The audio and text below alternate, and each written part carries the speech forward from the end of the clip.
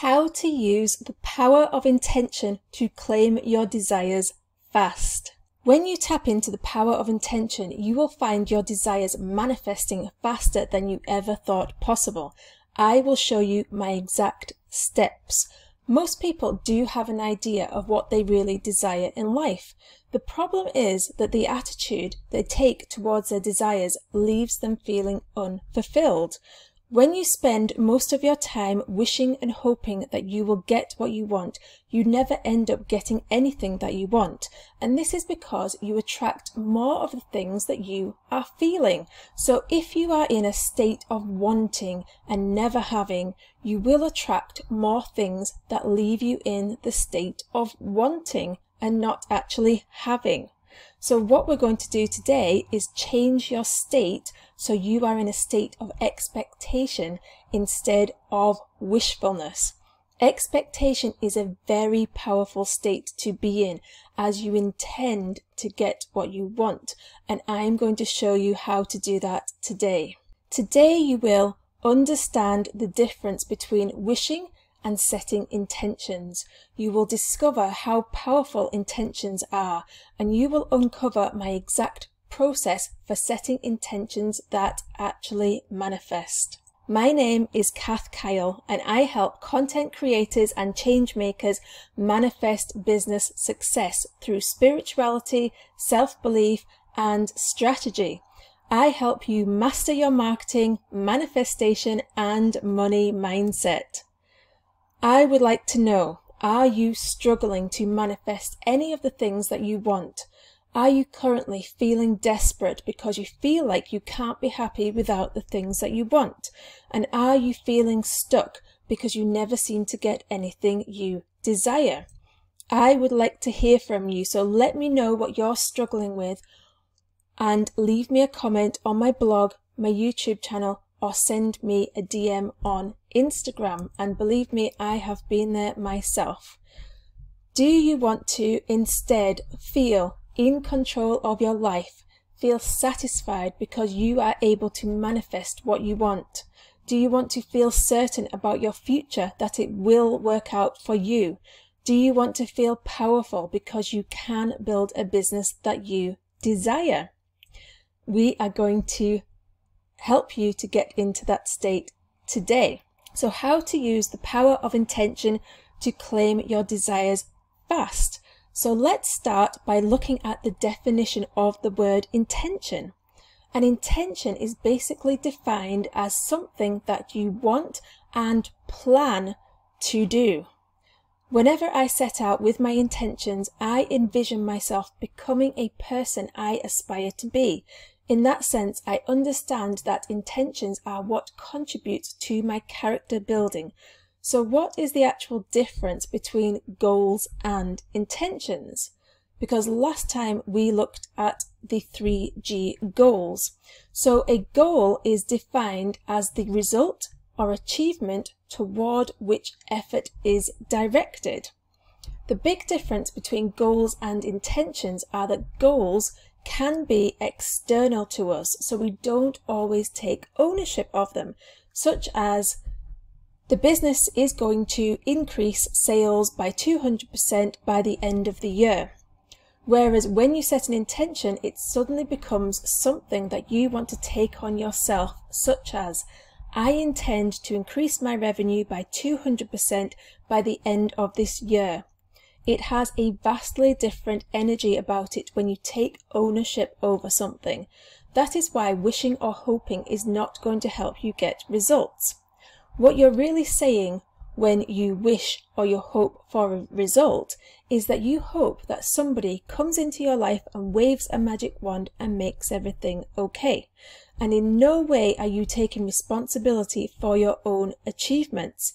And I'm not to say that I don't believe in the power of prayer and in the power of God or the universe coming in and helping us with something, but I do believe in meeting God or the universe halfway by actually working on things that we need to work work on and leaving things to God or the universe that only God needs to work on. And that's what I talked about in the goals content last time. So that's the main reason why intentions are so powerful because you take ownership of the fact that your results are dependent on you. Once you start owning your results, everything will change for you. So what are some of the benefits of setting intentions? There are so many. Let's go over some of them. There doesn't need to be a deadline to intentions, so this can reduce the amount of stress that you feel when you set deadlines for your goals. You can make intentions as small uh, or as large as you like, so they're very flexible. And you can set as many intentions as you like, as frequently as you like. You can set intentions on a daily basis if you like.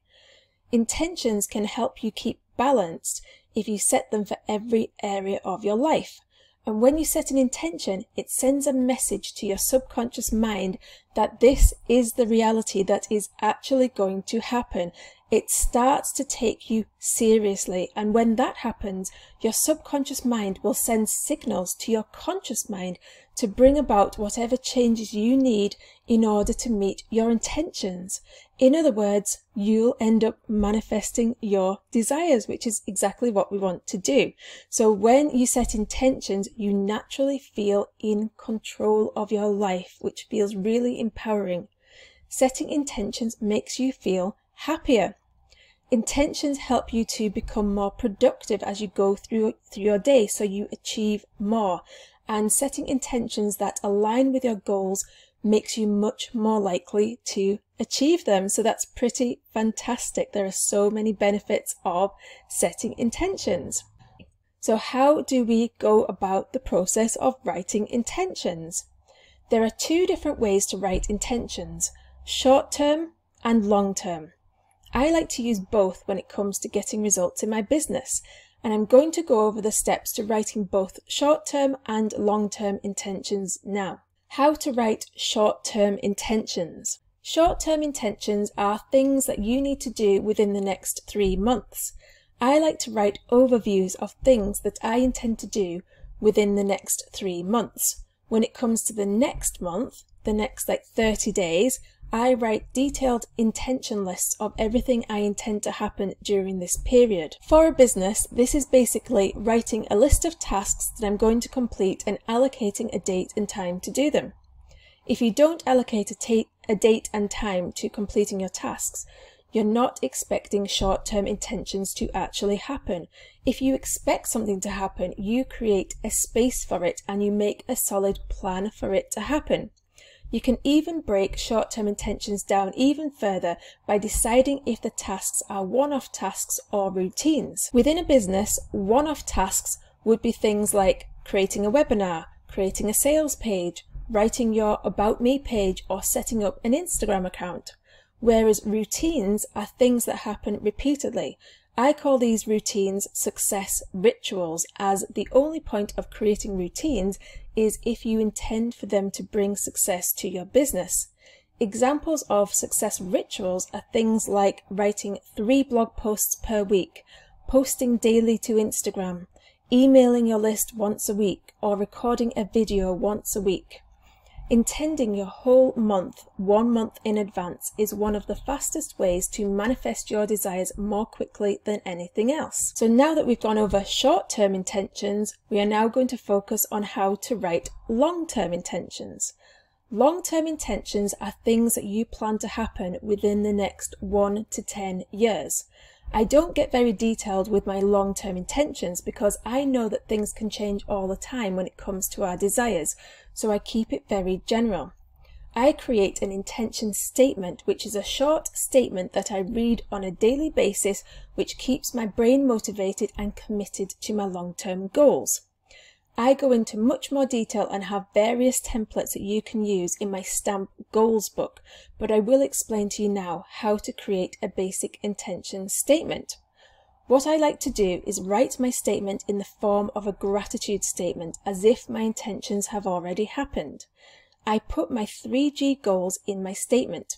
And if you haven't heard about 3G goals yet, go back to my previous content called how to decide what to manifest for your dream business. And then you will be able to decide exactly what you want your three business goals to be. So this is how you start off the process. You start your intention statement by writing, I am so grateful that I have made a revenue of X amount by a certain date. So for example, I am so grateful that I have made a revenue of $1 million by a date 10 years in the future. Then you write some of the main things you are going to do with that money which helps you to stay motivated. It might go something like this. This has enabled me to hire a housekeeper, buy a camper van, give money to charity and become financially free. Then you write how that makes you feel. For example, this makes me feel abundant, excited and secure. Then you write a general statement about what you are going to give in return for this money. For example, I am so happy to have provided educational products and mentoring to help entrepreneurs become more abundant. Then you write about the characteristics that you have that enable you to be the person who gets the results that you want. For example, I am so grateful that I am responsible and committed enough to my business to be able to help people and for them to be able to trust that I'm going to be there for them. Then once you've completed your statement, you read this out loud, if you're able to, every single day. If you can't read it out loud, just read it in your head. Try and get into a routine so you don't forget to read it. And this is truly life changing. So now it's your turn to write some short term and long term intentions for your business.